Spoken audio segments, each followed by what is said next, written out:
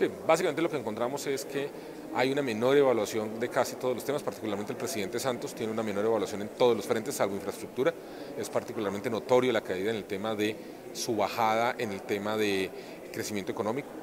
Eh, las instituciones también tienen un menor desempeño, la que más sufre es la Corte Constitucional, con la caída más importante, y el Banco de la República sigue siendo la entidad pública más admirada, que más confianza le genera a los, a los líderes.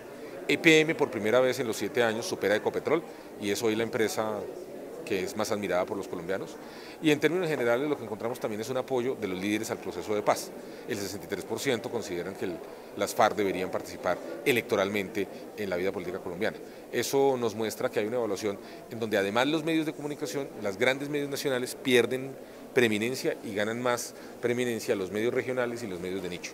Y obviamente Razón Pública es uno de los medios que en Internet mantiene más en Bogotá que fuera de Bogotá, pero en Bogotá es mucho más importante Razón Pública que en a nivel nacional, pero se mantiene como una de las páginas web más consultadas por los líderes a la hora de informarse.